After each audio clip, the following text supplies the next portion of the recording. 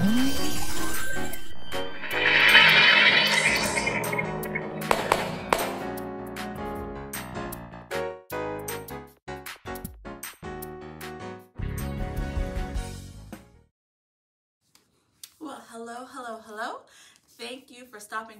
joining us for our midweek service. It's always good to know that there is a place that you can stop in and get refueled to hear a word that is going to ignite your spirit and keep you on fire for the rest of the week. In case you didn't know, this is Shiloh Baptist Church of Landover, and we are happy to have you here with us this evening. Now, please stand for the consecration of our tithes and offerings. Dear Father, may the love amount toward us as we now bring to thine altar this our gift. Help us that we may not give our money as a necessity, nor grudgingly, knowing that God loves a cheerful giver. We ask thy blessings in Jesus' name. Amen. Now, please view the four ways of giving on the screen. You can text GIVE to 301 321 8801. You can download and use the F1 Go app you can also go to our website at shilohbc.org forward slash give, or you can mail in or drop off your tithes and offerings at the church. If you have any questions, you can email contributions at shilohbc.org. Now, I know that you are ready for the word, so prepare, sit back and listen, and you're going to receive a word from one of our very own ministers of the gospel. Good evening, Shiloh Baptist Church of Landover, Maryland, and all of our visitors and friends. First, I'd like to give honor to Jesus Christ, who is the Lord and Savior of my life and the head of my life, and give an honor to my pastor, Reverend B. Lewis Collington, for this opportunity. I'd also like to honor my mentor, Reverend Stephanie Stanzel, for all her love, support, and prayers, all of Shiloh and all assembled here tonight. There is a word from the Lord this evening. Please turn in your Bibles to Ephesians chapter 1, verse 4. Ephesians chapter 1, verse 4. But before I read the scripture, let us have a word of prayer. Father, in the name of Jesus, I come to you as I most humbly know how. First of all, to thank you for the first blessing of this day, that you woke me and everyone else up and started us on our way, and you gave us a reasonable portion of health and strength clothed us in our right mind, and allowed us to do the things that you would have us to do on this day.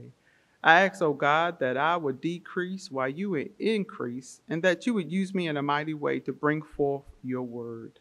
I pray this prayer in Jesus' name. Amen. Again, that's Ephesians chapter 1, verse 4.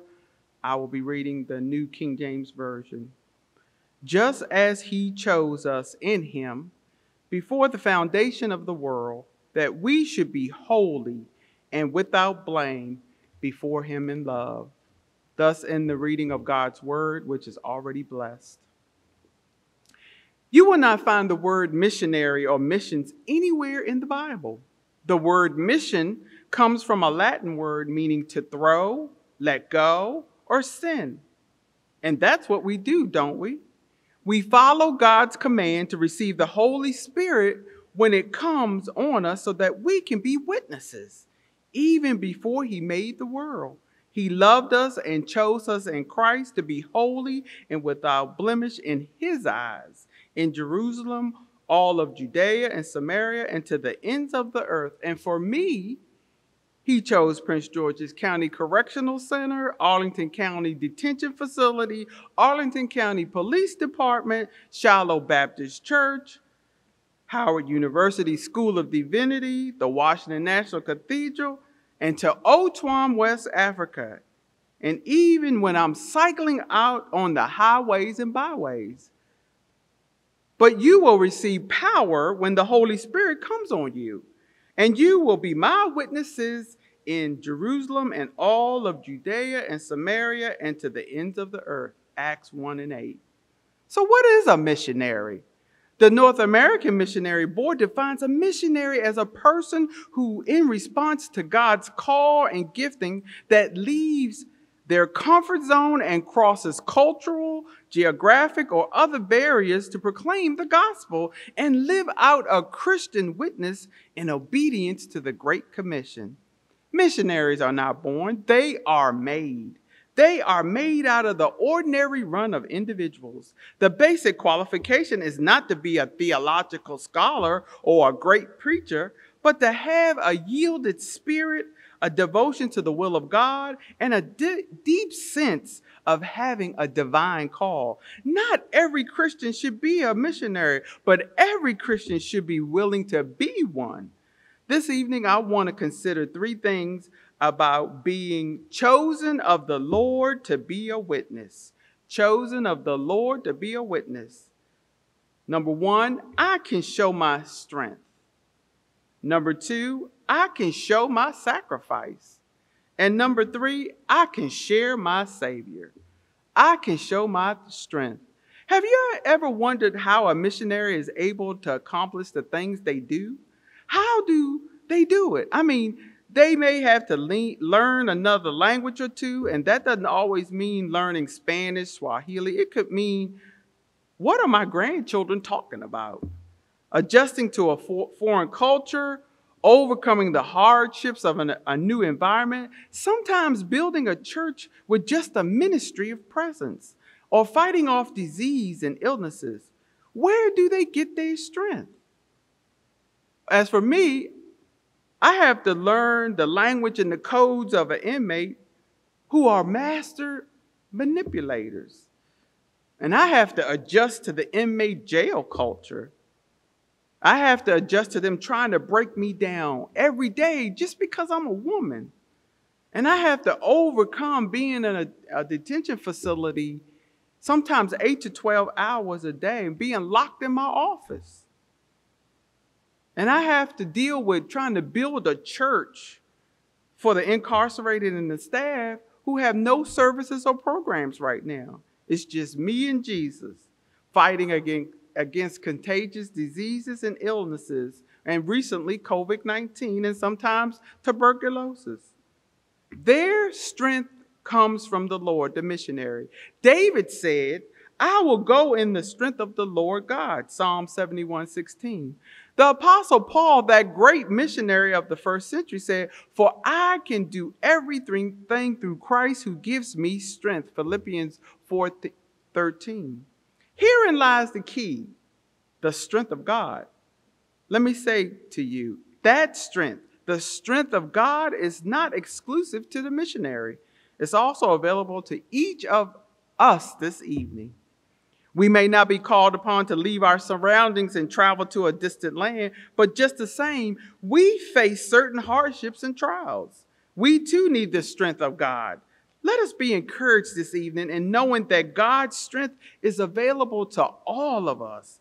Ephesians 3:20 tells us, "Now to him who is able to exceedingly abundantly above all that we ask or think, according to the power that works in us." My strength and yours comes from God's word. You may be here this evening as one who needs strength and comfort. Maybe things have gotten you down. Maybe you are going through some difficult times. Listen, open up your Bible and let the word of God speak to your heart. Secondly, I can show my sacrifice. There are two things about sacrifice that you need to know.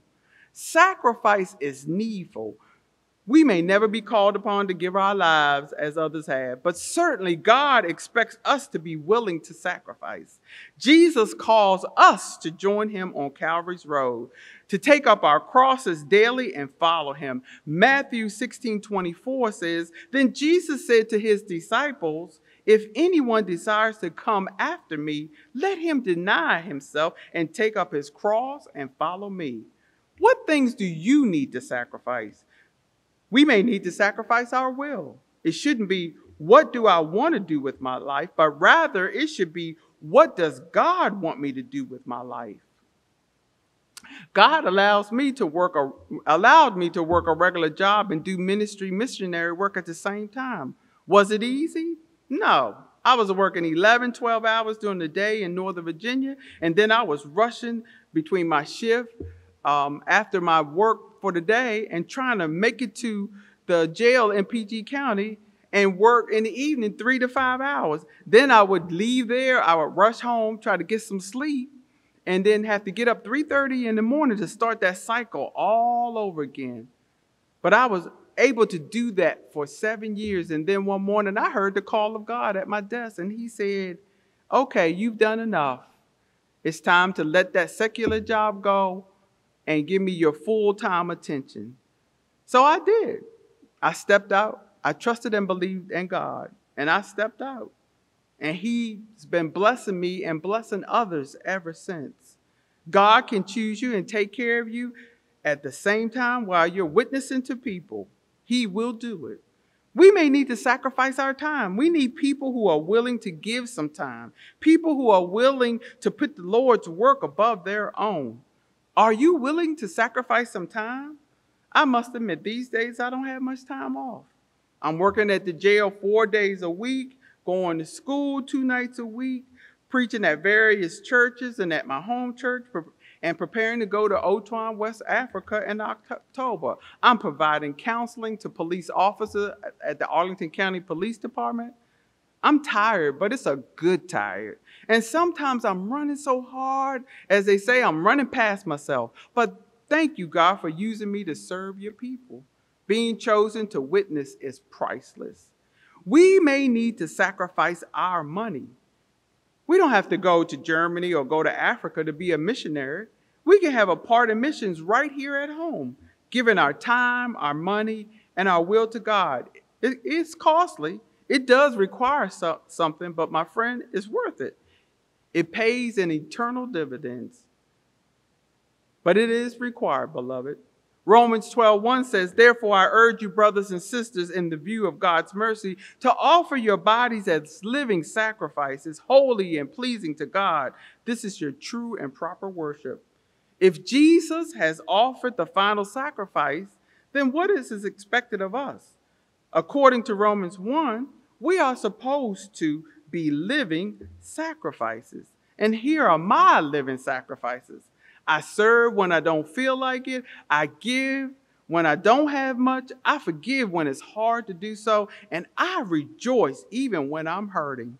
Do you know sometimes God allows me to suffer so that through my experience, I might help others?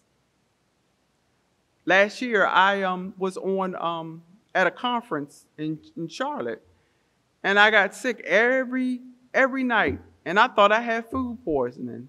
So I left Charlotte and I went on and caught my flight to New Orleans to the next leg of, of another conference. And I got so sick that I went to the urgent care, and lo and behold, they sent me to the hospital, and my gallbladder was getting ready to explode. But I do remember in that hosp- in that airport in New Orleans that I stopped what I was doing, and I said, "Lord, please come see about me." And He came and saw about me. I had emergency surgery and I was home by that following Monday. So God can use you in a mighty way. I am reminded of 2 Corinthians 1 4 that it is God who comforts us in all our troubles, so that we can comfort those in any trouble with the comfort we ourselves receive from God. And lastly, I can share my Savior. Jesus died for sinners, and we are all sinners. If you have received Christ into your life, rejoice because your sins are forgiven. If you have not, do so today. He will change your life forever. Jesus offers an abundant life. John 10:10 10, 10 says, "I am come that they might have life and they might have it more abundantly." If you and I want the abundant life, it will be found in Christ. Nothing the world offers can compare with the life Jesus offers. It seems most of us always come to get, but what are we offering? If you are always taking and never bringing, why don't you talk it over with Jesus this evening? He has a call for everyone here, and it just might be missions. I urge you to take some time with God and figure out what missionary work you are supposed to be partaking in. And again, it doesn't have to mean that he's calling you to go to Africa. It could be something right in your community. A missionary is a Christian so in love with Jesus Christ that he or she desires nothing more than to live for him and make him known to others. This is the responsibility of every believer. The church can only become mature when all the members play their part using their God given gifts and accepting that God has chosen them to witness to the people. God has designed things in such a way that the godliest missionary cannot reach maturity without the contribution of all the other members. Remember, we are all chosen of the Lord to be a witness every day of our lives.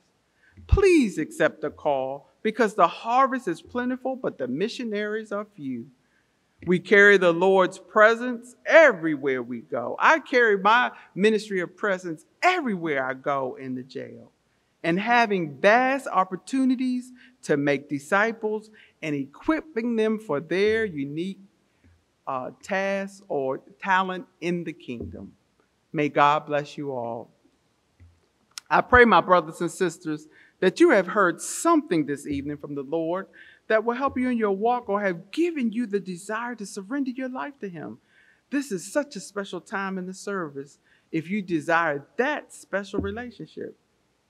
So if you do not know the Lord Jesus as your Savior, won't you please come? You can come by baptism, you can come by Christian experience, or by letter. You can be baptized right here in Shiloh Baptist Church or any other church. Jesus has paid the price. And this is a new life. The next chapter will be a great chapter. So if you're online and you want Jesus to be the Lord and Savior of your life, call the church or email the church, and someone will call you and pray with you and talk with you. So won't you just please come? Because He's paid it all. It's all paid. Let us pray.